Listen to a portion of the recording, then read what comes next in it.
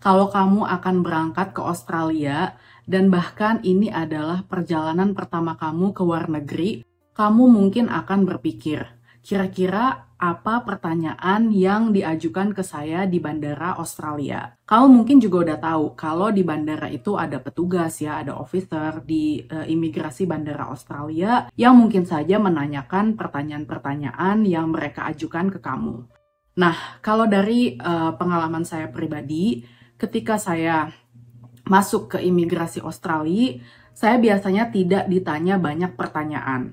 Mereka hanya minta paspor, dan juga dokumen yang related yang dibutuhkan oleh petugas imigrasi. Namun, ada juga chances ya kamu ditanya-tanya uh, oleh petugas bandara, dan di video ini saya akan menjelaskan pertanyaan apa saja yang sekiranya ada uh, akan ditanyakan gitu ya. Jadi kamu bisa persiapkan dan kalau kamu stick around di uh, video ini sampai habis, kamu bisa uh, tahu juga ya tips yang akan saya berikan di akhir video. Keep watching. Katakanlah kamu uh, pesawatnya baru landed ke bandara Australia dan kemudian kamu keluar pesawat dengan membawa carry-on bags untuk masuk ke dalam uh, imigrasi bandara atau border Australia dan antri. Nah, antrian itu tergantung dari uh, jumlah pesawat yang datang berbarengan dengan pesawat kamu. Jadi kalau misalnya banyak langsung datang berbarengan waktunya bisa panjang antriannya. Jadi uh, lama atau tidak itu tergantung dari situasi uh, bandaranya. Nah, jadi di sini ada tiga kategori antrian. Antrian yang pertama yaitu khusus pemegang paspor Australia dan kalau saya nggak salah juga New Zealand termasuk ke dalam sini juga dan family yang bergabung di dalamnya. Misalnya family istrinya uh, paspor Indonesia atau suaminya paspor Indonesia itu bergabung di dalam kategori antrian ini. Biasanya antriannya lebih pendek Nah, uh, kategori kedua yaitu melalui mesin. Biasanya untuk memperpendek paperwork, kategori ini kayak uh, Jepang gitu ya, paspor-paspor uh, yang diakui gitu, itu bisa pakai elektronik ya.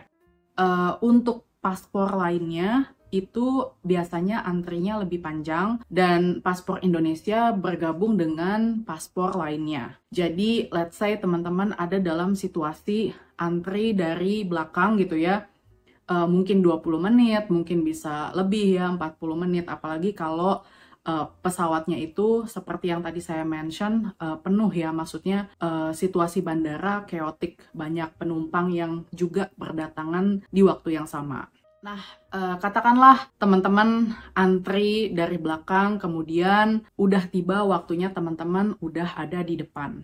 Nah, kemudian biasanya ketika teman-teman sudah yang paling depan, itu petugas bandara next gitu ya, atau next waiting gitu. Uh, selanjutnya, nah jadi teman-teman maju, kemudian biasanya yang ditanya adalah, May I have your passport please? bolehkah saya minta paspor Anda?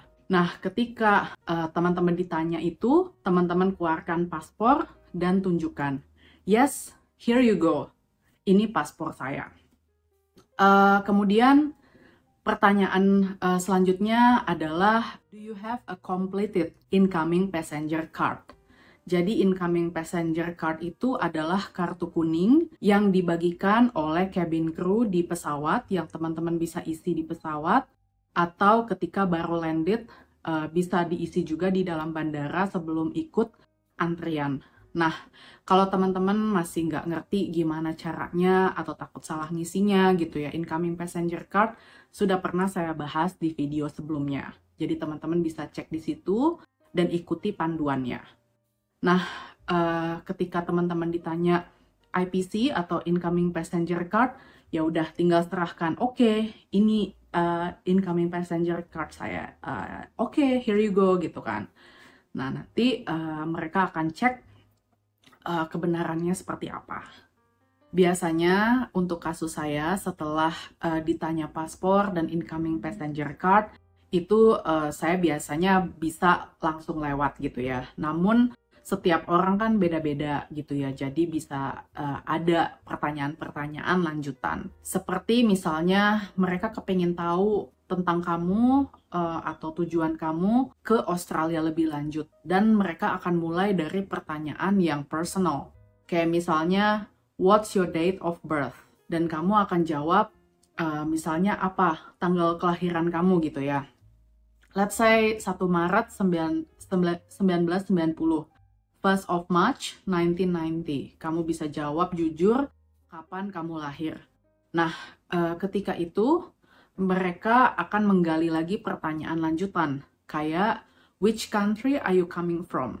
Kamu dari negara mana sebelum datang ke Australia? Jadi maksudnya sebelumnya itu kamu terbangnya dari mana gitu, bukan kamu orang apa. Jadi misalnya kamu orang Indonesia tapi terbangnya dari Arab Saudi, ya kamu akan bilang terbangnya dari Arab Saudi. Nah, kita ambil contoh kamu terbangnya dari Indonesia dan uh, kamu ada stopover di Singapura. Nah, kamu kemudian bisa bilang gini, I'm coming from Indonesia, but atau although I, I had a stopover in Singapore.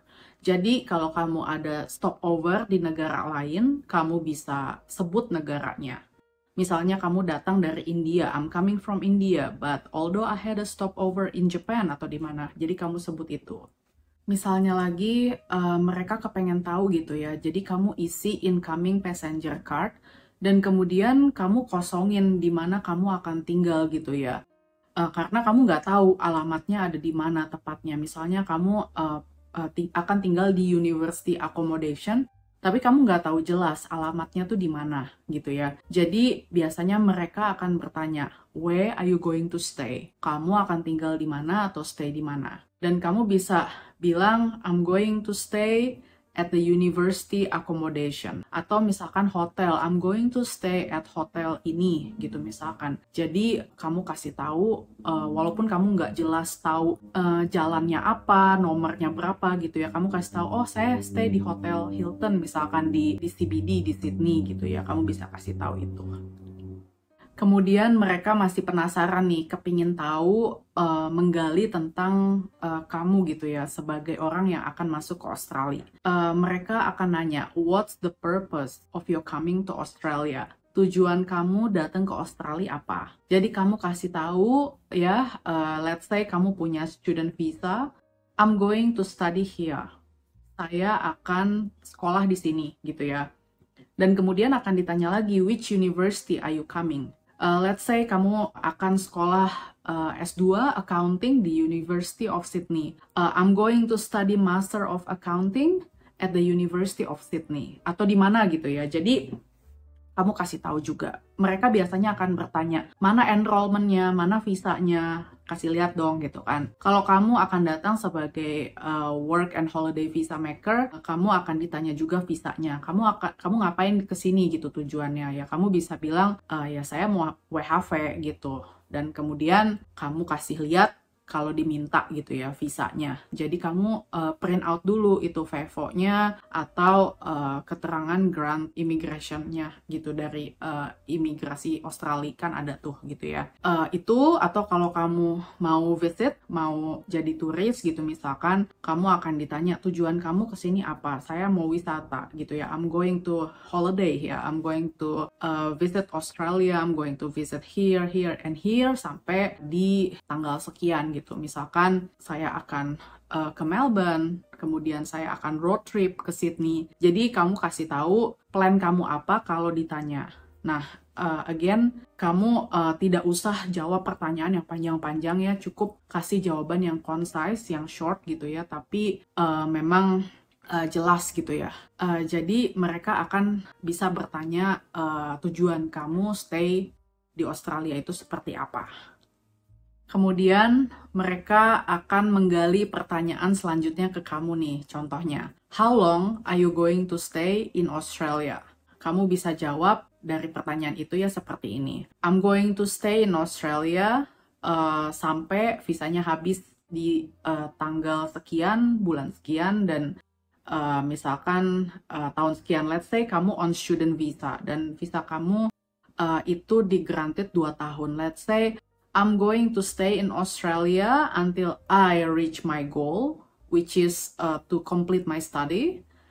uh, and uh, and that is going to be two years gitu ya. Jadi uh, saya stay di Australia hingga saya bisa mencapai goal saya yaitu kuliah sampai dengan lulus dan itu jangka waktunya 2 tahun. Nah, kalau kamu WHV, kamu bisa bilang uh, saya stay di sini sampai uh, visa saya habis. Ya, ini visa saya.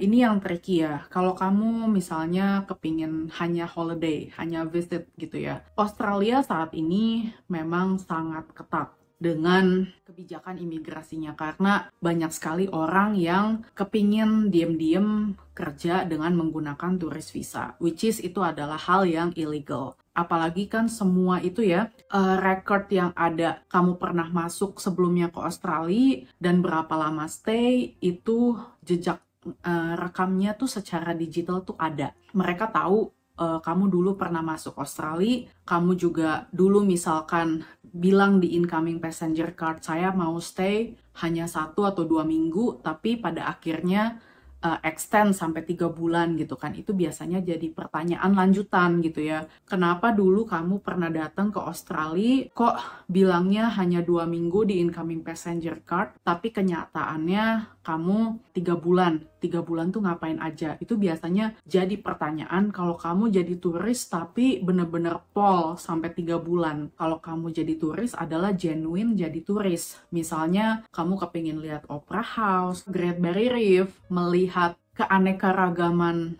hewan yang ada di Australia seperti kanguru, koala, dan lain sebagainya. Itu yang mereka kepingin dari turis. Kamu kepingin visit dan mengenal budayanya, mereka akan sangat open. Kemudian, kalau kamu menggunakan student visa misalnya, kamu akan kemungkinan akan ditanya, will you be working here in Australia? Kamu bisa jawab, ya saya akan bekerja sesuai dengan aturannya gitu. Yes, I'm going to work in Australia and I'm going to obey atau patuhi peraturan sesuai dengan batasannya gitu ya, I'm, uh, as per my visa gitu. I'm going to work in Australia as per my visa condition. Jadi bisa jawab seperti itu. Nah, kemudian misalnya udah nih, oke okay nih, kelihatannya gitu ya. Terakhir akan ditanya, kamu mau declare nggak? Are you going to declare something? Kamu mau declare barang apa gitu? Misalnya kamu bawa barang-barang yang kamu tuh nggak yakin gitu ya bakalan boleh atau enggak gitu. Misalnya kamu bawa minyak kayu putih gitu misalkan. Nah, itu kan ada ada brandnya atau apa segala macam. Terus kemudian kamu ragu apakah minyak kayu putih itu uh, masuknya ke dalam herbs atau misalkan apa. Kamu nggak nggak ngerti juga gimana. Nah, kemudian kamu declare, "Oh, kalau kamu bilang yes, aku mau declare." Kamu bisa bilang yes. Tapi kalau misalkan enggak,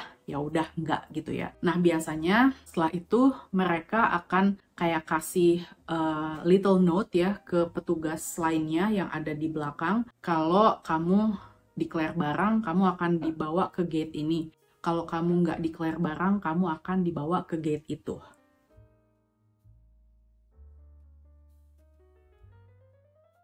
Penting ya bagi teman-teman untuk mengisi incoming passenger card dengan baik dan benar. Nah, di situ kan ada kolom pertanyaan kalau kamu unsure atau kamu nggak yakin gitu ya, kamu selalu bilang yes atau kosongin. Uh, atau nanti ditanyakan ke petugas uh, kira-kira kalau barang saya ini saya declare atau enggak gitu ya. Mereka akan dengan senang hati menjawab dan bantu kamu gitu ya. Nah, kemudian kamu udah lolos nih di uh, yang imigrasi pertama misalkan uh, kamu diminta ya udah kamu lewat gitu kan. Nah, setelah kamu lewat, kamu akan uh, diarahkan ke tahap selanjutnya yaitu declare atau tidak declare barang gitu ya. Kamu ngambil koper dulu kan, kamu ngambil koper terus kamu lihat datang pesawat, terus nanti ada kan di board information misalkan uh, pesawat saya Air Asia gitu ya. Oh Air Asia yang dari Bali atau dari mana atau Jetstar gitu ya uh, ada di uh, nomor 9 misalnya. Terus kamu ke nomor 9, kamu tunggu, kamu ambil koper dan kemudian uh, kamu masih bawa incoming passenger card itu dan kemudian kamu antri selanjutnya, jadi nggak bisa langsung keluar.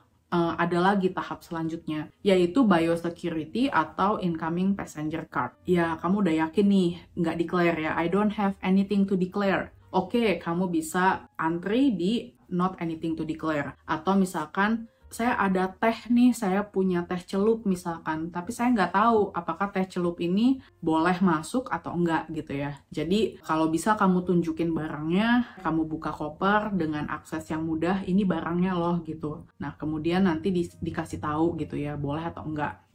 Nah ketika kamu sudah antri dengan sesuai antriannya, biasanya mereka akan bertanya, did you pack your own bags? penting untuk kamu gitu ya untuk bisa mengetahui apa isi barang-barang kamu. Apalagi ini untuk orang yang suka just tip ya. Jadi kalau di orang yang suka just tip kilo-kiloan gitu ya, kita nggak tahu ya apa yang mereka just tipin gitu. Misalnya mereka satu kotak gitu ya, satu kotak itu sepatu ya sepatu sepatunya ada apa gitu di dalamnya. Kan kadang-kadang kita nggak tahu ya kalau itu bukan barang kita sendiri. Atau misalkan yang packing itu adalah mama kamu gitu ya. Terus mama kamu masakin sambal masakin apalah gitu misalkan. Masakan rumah yang kamu nggak tahu dia udah masukin ke dalam koper. Nah masakan yang seperti itu itu nggak boleh masuk karena apalagi daging-dagingan ya rendang atau apalah gitu ya misalnya. Dimasakin dari rumah supaya di Australia itu bisa dimakan dan bisa disimpan di dalam freezer gitu-gitu kan ya. Jadi biasanya anak-anak kosan gitu kan biasanya kayak gitu. Tapi itu nggak boleh masuk Australia karena itu bumbu segar dan itu juga daging-dagingan yang bisa uh, berbahaya kepada biosecurity atau lingkungan flora dan fauna yang ada di Australia karena itu bisa mencemarkan bakteri gitu yang ada ke flora dan fauna lokal. Jadi yang itu seperti rendang, mak makanan rumah itu nggak boleh masuk. Terus kamu nggak tahu ada makanan banyak di situ misalkan. Terus kan kayak uh, ini